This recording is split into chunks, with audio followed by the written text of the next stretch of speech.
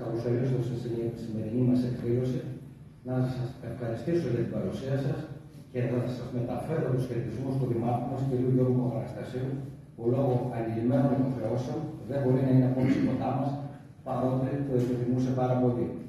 Ο Δήμος Αρδελίου συμμετέχει απόψε στην εκδήλωση παρουσία του βιβλίου Τα Καναρίνια έχουν υπέροχη λαλιά.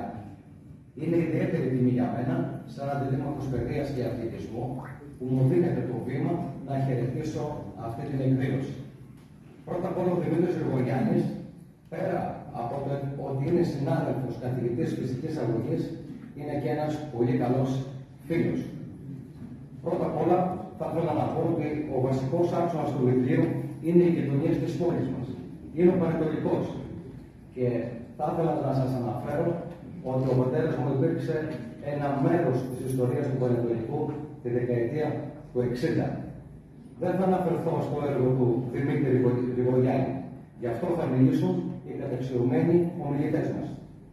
Τα Καναρίνια έχουν πραγματικά υπέροχη λαλιά και βρίσκουν τη φωνή τους μέσα από τη γραφίδα του συγγραφέα.